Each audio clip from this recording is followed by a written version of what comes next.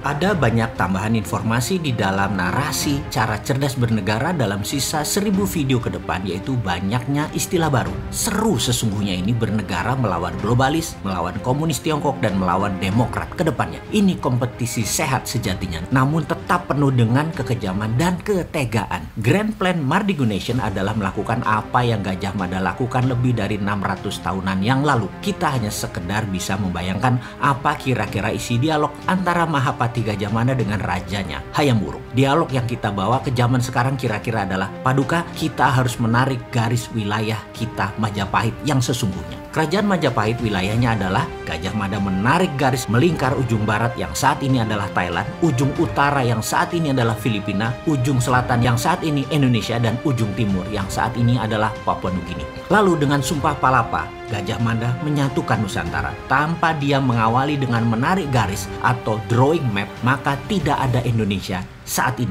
Wilayah Indonesia saat ini adalah wilayah jajahan Belanda kalau kita mengikuti wilayah Majapahit dan Nusantara, sesungguhnya maka selatan Thailand, Malaysia, Singapura, Brunei, Filipina, Papua Nugini adalah wilayah Indonesia saat ini. Jadi di dalam Mardigu Nation, di mana di dalam tahun 2049 nanti, ketika dunia baru tercipta karena perang berkepanjangan antara demokrasi versus komunis, Amerika versus Tiongkok, dan globalis versus nasionalis, maka tatanan dunia baru terbentuk. Mardigu Nation akan membentuk New Santara atau Nusantara baru. Ketika kera kanal dipotong, maka negara ASEAN ASEAN terbelah dua. ASEAN kontinental menyambung sama daratan Asia, ASEAN archipelago adalah wilayah laut terluas di dunia. Nusantara adalah lima negara ASEAN archipelago ditambah negara-negara kepulauan Pasifik Selatan dengan total 22 negara. Jika ditambah Australia dan New Zealand, maka negara kesatuan tersebut yang berbasis konfederasi adalah 24 negara. Itulah redraw map baru atas nama Nusantara. Ini semua hanya rencana di kertas yang semua dirincikan di novel fiksi futuristik karya Mardigu yang berjudul Negeri Cincin Api. Namun,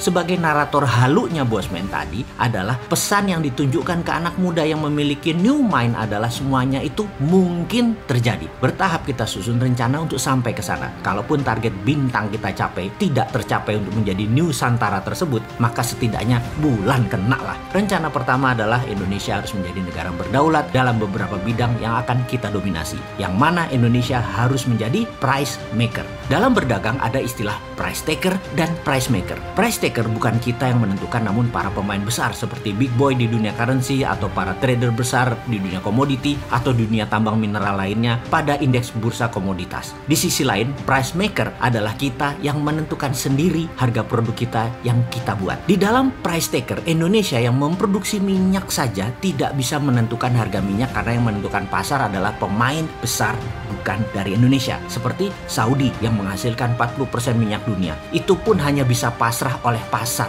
dalam tanda petik. Siapa itu pasar? Nanti kita akan bicara di sesi tersendiri. Yang jelas, setiap komoditas, sawit, cengkeh, teh, kopi, semuanya itu ada pemainnya dalam tanda petik yang menentukan harga yang diklaim sebagai atas nama pasar. Jadi orang awam hanya mengatakan pasar padahal terencana, terdesain, terstruktur, terkendali oleh globalis. Ada baronnya di masing-masing komoditas. Ada rajanya dan sudah ada yang berlangsung ratusan tahun sistem ini terjadi. Jadi naif sekali kalau kita berbisnis, kita jadi korban harga padahal kita produsen terbesar. Misalnya di kelapa sawit CPO, kita produsen tapi victim system karena kita tidak bisa menentukan harga. Kita produsen tapi kita price taker.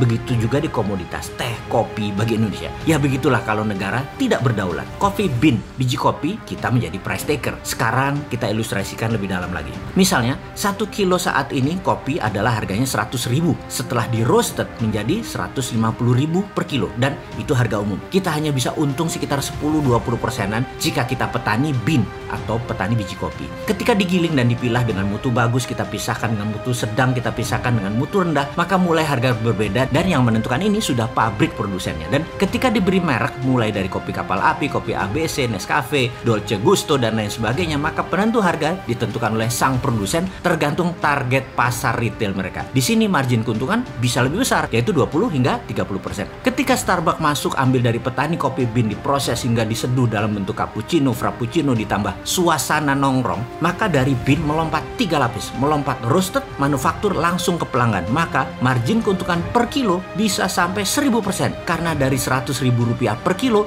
diproses hingga jual 15 gram 50 ribu. Catatan, harga cappuccino di Starbucks hanya membutuhkan 35 gram kopi kurang lebih atau 1 kilo bisa buat 30 cup cappuccino. Ini adalah price maker strategi, di mana strategi bis tadi menentukan harga premium dari sebuah kopi atau maksimum potensial dari sebuah komoditas kopi. Dalam strategi price yang dilakukan Starbucks, ini adalah contoh tersempurna. Starbucks contoh sempurna dari strategi bisnis midstream, hilir, hingga high end. Starbucks ini sahamnya salah satu darlingnya Wall Street karena sudah naik 5000% sejak IPO. Sekarang kita bicara lebih dalam lagi tentang pelajaran harga. Harga negara kita. Untuk hard commodity, soft commodity, bursa precious metal, kita harus punya bursanya di dalam negeri sendiri yang tidak mengikuti bursa internasional selama mainnya di dalam negeri. Kitalah penentu harga jual dan harga beli berdasarkan pasar penawaran dan pembelian domestik. Jadi harga nikel, tembaga, kalsium karbonat, bauksit, gold, silver, apa pun itu selama pembelinya lokal maka bursanya lokal. Perlu catat, mineral Indonesia itu bisa merupakan 50%